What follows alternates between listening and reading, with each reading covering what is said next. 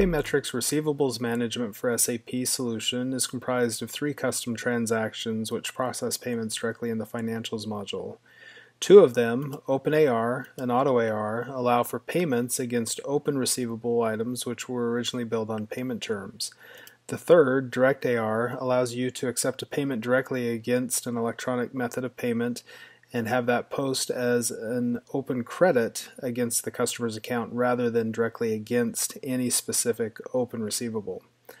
OpenAR allows one of your customer service reps to pull up a list of all the open items for a particular customer, choose one or more, and process a payment directly against the selected items.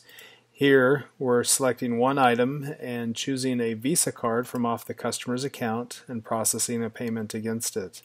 This will go ahead and clear that receivable item, refresh the list, show that it's no longer open, and display the clearing document that's been posted.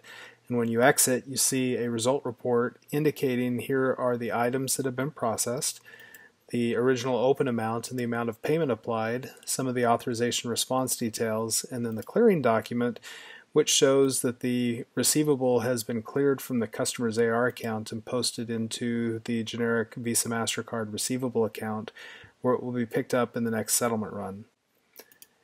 Going back to the receivables management menu, we could choose the Auto AR solution.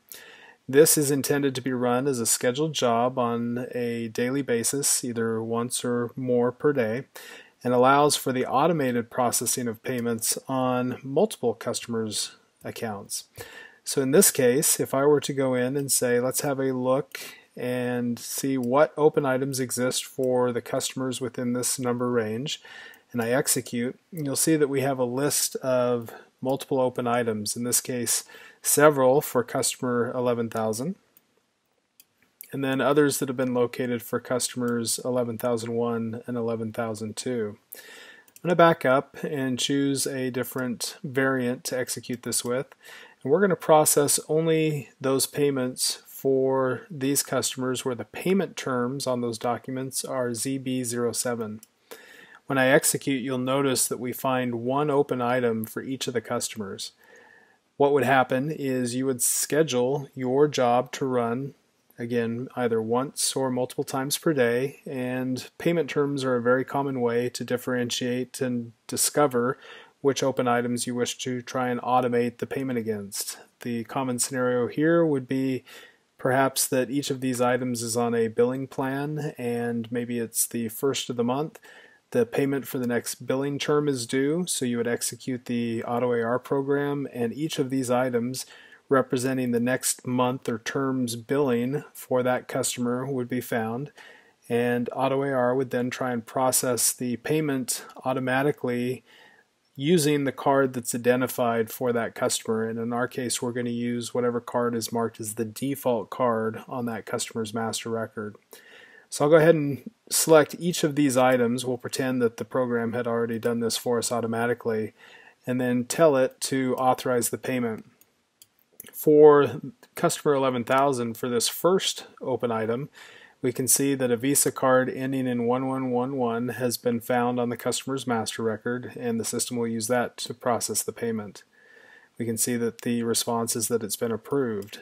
As we move on, the next document that's found and customer that's identified, a Visa card ending in 3333 is identified. So we'll go ahead and use that to process the payment. Again, we're going to simulate an approval. However, you'll notice that once we've executed those two payments, one of the documents remains. If we back out, we can see that one of the items was not processed, and that's because no card for use has been determined. In fact, on customer 11001, there is not a default card listed on the customer master record, and therefore we were unable to process payment.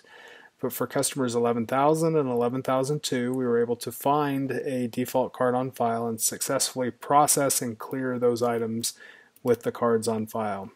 So that's a good example of how the AutoAR program can be used to automate payment against open receivables on customers' accounts. The last transaction is direct AR. This transaction allows us to type in a customer's account number, the company code and currency for which we wish to process payments, and then rather than identifying an open item or multiple open items, we would simply enter the amount of payment that we wish to process against that customer's card. You can see that we've defaulted in the preferred card from the customer's master record. I'll enter a CVV value and then we'll process that authorization online. You can see that we've simulated a response of approval for $250 and when we continue the result report shows us the authorization has been processed successfully, some of the approval details that we had seen previously. And again, when we look at the clearing document, we can see that a credit has been posted against the customer's AR account. And this is an open credit not yet associated with any particular invoice. It can be associated with one later. And that has been shifted into the Visa MasterCard receivable again so that it will be picked up in the next settlement run. So these three transactions, Open AR, Auto AR, and Direct AR, enable customers to process payments directly in SAP's financial module with a credit card, in some cases, as in OpenAR and AutoAR, against open invoices that were previously posted with payment terms, and in the case of DirectAR, with just a direct payment resulting in an open credit on a customer's account that can be applied to any open invoice in the future.